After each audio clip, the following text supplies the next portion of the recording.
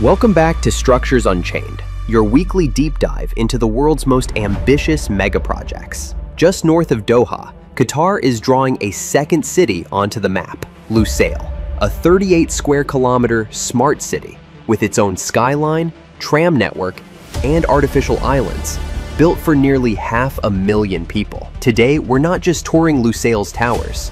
We're tracing the system that makes it possible, the gas field paying for it, the record-breaking bridge and tunnel link meant to fuse it to Doha, and the World Cup stadiums still trying to prove they're more than a one-month spectacle. Lusail City lies about 20 kilometers north of Doha, stretched along 28 kilometers of waterfront. It's not a single development, but an entire urban plan. 19 mixed-use districts, four man-made islands, two large park systems, and a business core. Planning documents put the cost at roughly $45 billion and the footprint at 38 square kilometers, making it Qatar's largest real estate project and one of the biggest planned cities in the Middle East. The long-term goal? 200,000 residents, 170,000 workers, and 80,000 daily visitors. A floating population of around 450,000 in a country of less than 3 million. Lusail is designed as a 15-minute city. Each district gets its own schools, clinics, mosques, and retail. Crescent Park and Wadi Park act as green lungs through the urban fabric. Below the streets, tunnels carry chilled water and vacuum waste. Above, a light rail and tram network links Lusail to the Doha Metro's Red Line and eventually the wider Gulf Rail vision. At the symbolic center is Lusail Stadium, the 80,000-seat venue for the 2022 World Cup Final, now being downsized and reconfigured into a mixed-use hub with retail, sports, and education facilities. Around it, towers in the marina and plaza districts rise over new marinas, hotels, and residential blocks. The Qetaifan Islands bring resort-style development out into the Gulf. Lusail was meant to be finished by 2025, but like most megacities, it's still a work in progress, with some districts humming and others still under construction. Lusail is Qatar's attempt to turn gas wealth into long-lived urban capital, a parallel city spreading growth beyond Doha's core. Right now, Doha and Lusail are mostly linked by conventional expressways along the coast. The proposed Sharq Crossing aims to change that, with one of the Gulf's most ambitious transport projects. The concept, three large sculptural bridges tied together by subsea tunnels, spanning about 12 kilometers across Doha Bay.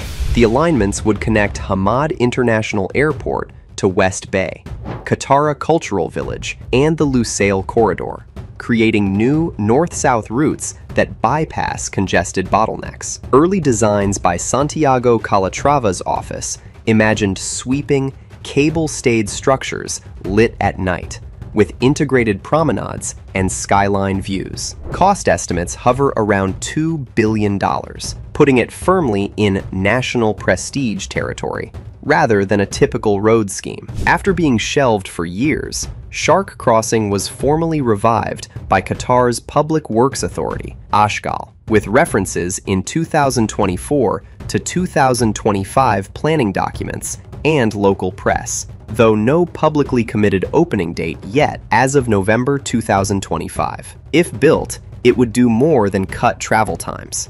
It would physically bind Doha, West Bay, and Lusail into a single waterfront corridor, turning what were separate clusters into one elongated urban spine. Sharq Crossing is the missing hardware that could turn Lusail from a satellite into a fully integrated extension of Doha's metro system.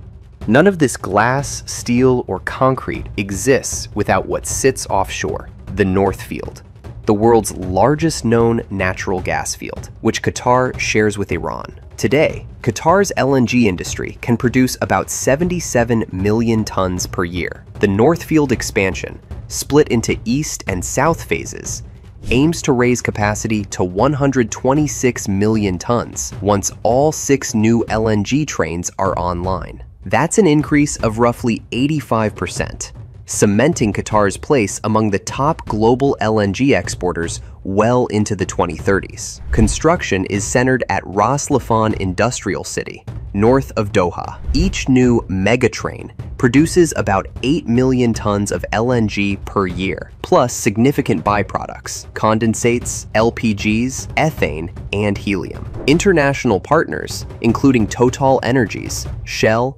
ExxonMobil, ConocoPhillips, ENI, Sinopec, and CNPC are locked into supply contracts stretching 20 to 27 years. Timelines have shifted slightly. Initially, first gas was expected in late 2025. As of late 2025, Qatar Energy's CEO says LNG output will begin in the second half of 2026, with full capacity reached in 2027. The delay is tied to earlier COVID-era slowdowns, not recent geopolitical tensions. For Qatar, the North Field expansion is the financial backbone of every project in this episode. Revenues help fund Lusail's towers and transit, national infrastructure, foreign investments, and the post-World Cup stadiums. While the world debates energy transitions, Qatar is betting that gas, the cleanest fossil fuel, will stay in demand long enough to fund its urban transformation.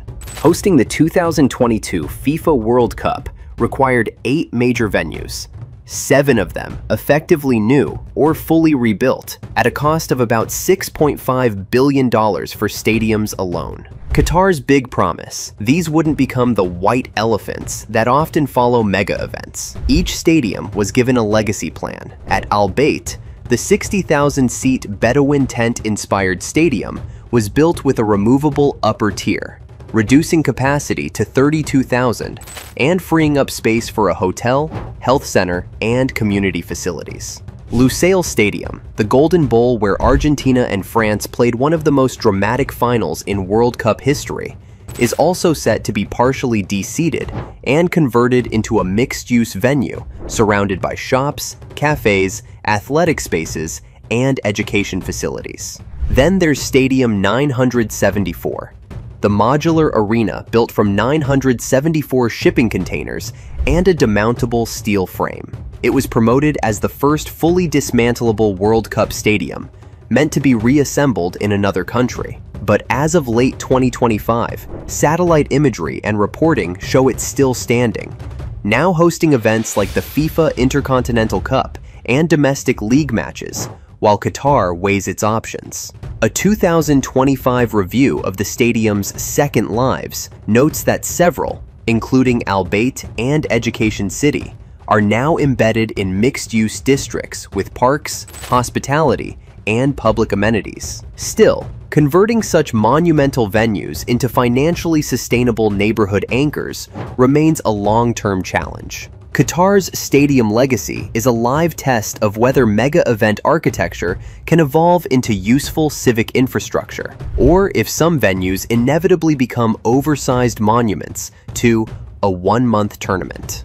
Put together, these stadium projects tell one story. If their legacy plans hold, they become cultural anchors instead of stranded costs. Qatar is trying to compress into a few decades what most countries take a century to build an energy-driven city-state with a diversified economy and global-scale infrastructure. The risk is clear. It all hinges on gas markets that will eventually peak, but the ambition is undeniable. In future episodes, we'll explore how other countries are attempting similar transformations with different tools. From Saudi Arabia's linear cities to Southeast Asia's flood defense megaprojects. Subscribe to Structures Unchained, and I'll see you in the next city.